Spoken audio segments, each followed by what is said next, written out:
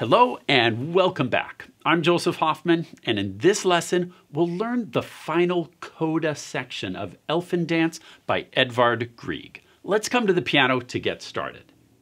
Let's listen to the coda section, which starts here at measure 53.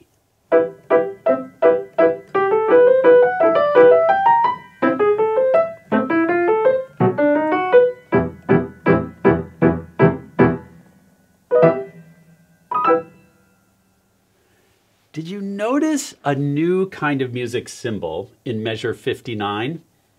Maybe you've never seen this before. What is this crazy X symbol? This is called a double sharp. Yes, that weird little X is a double sharp and it means to go up an extra half step beyond just one sharp. So if you see a double sharp in front of the note C, sharp would take you here. A double sharp would take you all the way to D. Now the question that most students ask is, why not just write a D? Why do a C double sharp? Well, the reason is a little complicated and has a lot to do with music theory. But in a nutshell, Grieg already knew he wanted a D sharp as part of this five chord. Remember, we're in the key of E minor, which makes our five chord a B major chord if he's using harmonic minor, which he, he is here. So in harmonic minor, we have a D sharp already. And if we want to step just a half step below D sharp, it's custom in music theory to not use two of the same note. Like we wouldn't want a D and a D sharp if possible it's better to write it as a C double sharp so we see that stepping up motion on the staff. And so it's a little bit technical, but that's why we've got a C double sharp going to D sharp, going to F sharp to B. Now you notice the start of the coda is just the same as our A section. It's all identical up to that point. The change and the special new coda section begins here in measure 57. Left hand's going to jump down. And I like to think in block chords to learn new notes more quickly. Just think of all of these. It's really an A minor chord with this extra little half step below to make it sound really interesting. See, Grieg was thinking about just this A minor triad, but using that G sharp to spice it up a little bit. Now you try.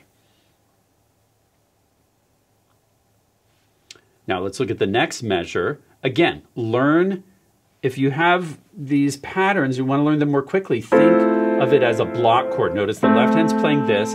The right hand, if I just took all those notes and mushed them together, it makes an F major triad, again with this half step below to add a little spice. Just play this as a block chord with fingers one, two, three, five, and then play it the way it's actually written. If your fingers just know where to go from feeling that block chord, it makes that really easy to play. Now you try.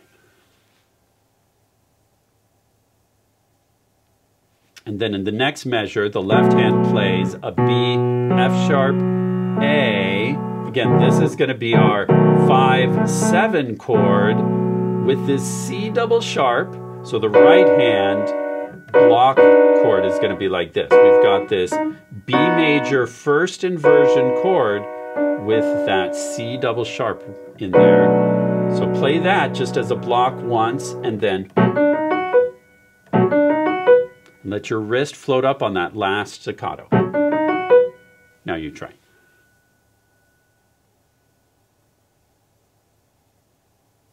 Then putting all that together. Doesn't that sound cool? Pause if you'd like to work on that on your own for a bit. Otherwise, let's keep going to this next section. Now, we're marked pianissimo. So as soft as you can possibly play. Now, for some smaller hands, this left-hand chord may be too big. That's fine. If you just leave out this top note, it's gonna sound almost the same. That's what I want you to do for smaller hands. If your hands can play this comfortably, I don't want you like killing yourself to play this. It's not worth it, okay? This top note, we can do without. Your ears will barely even notice it. Can do it that way. Just play the two bottom notes, leave off the top note. Otherwise, you can play it like this. Notice that middle note is moving around a little bit. One, two, moves down, back up, one, two, moves up, and back down. Pause to work on that left hand part on your own, then press play.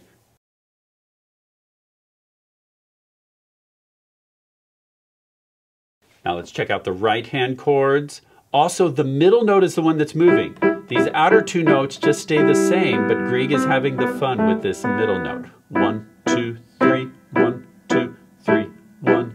Notice how that moved around a little bit there. Then hands together, one, two, three, one, two, three, one. Notice the middle notes are moving opposite from each other. See that pattern? I'm just gonna play the middle notes. One,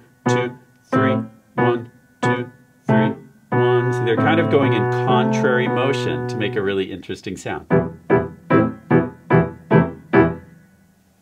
Now pause to work on that section. Right hand alone, then try it hands together, then press play to go on.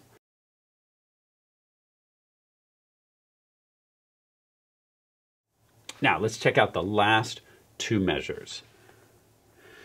Little miniature notes like this are called grace notes. And so these two notes, the B to the D sharp, which again, we pull that D sharp from E harmonic minor. Grieg is using harmonic minor here. They're going to play really quickly.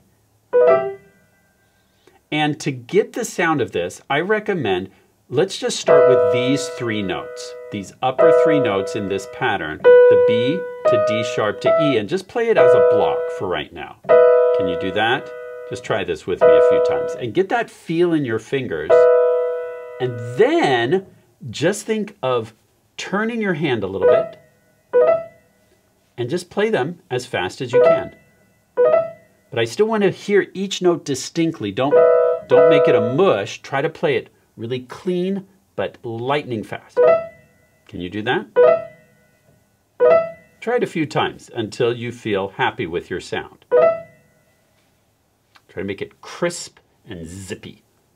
And again, if you're not getting it, play it all as a block because your fingers need to be in that shape and then you just kind of roll through it with a little flick of your wrist, a turn of the wrist.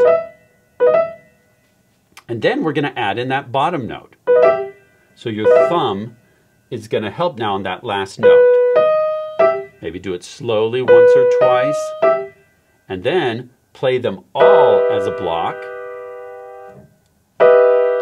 and then try and let your hand just rip through it. May take a while to get the feel of that. Try it a few times and keep working it. And then the very last measure, we just come up an octave and do it again. And then the hardest part is this is triple piano, pianissimo. So it's got to be really gentle. Pause to work on that for a little bit, then press play to go on.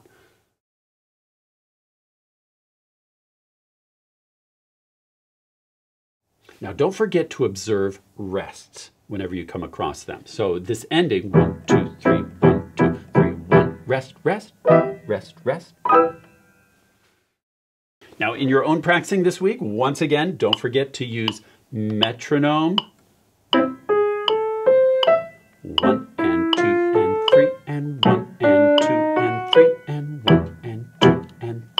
and one and two and three and one, two, three. One, two, three. Two, three.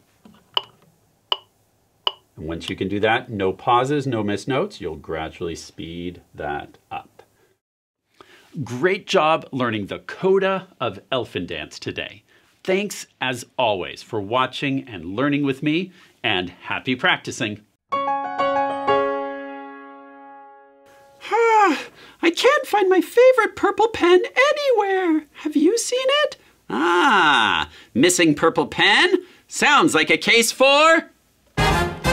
Agent Double Sharp! Come on, Scuba. I want to find my pen. It's not time to be silly. What? I'm not Scuba. I'm Agent Double Sharp. I know it's you, Scuba. No, you don't. You can't recognize me because I'm wearing a mask. You always wear that mask. Ah. Ha ha! Agent Double Sharp is on the case. He's smart, he's fast, he's brave, but double. Activate double speed! Da da da! Psh.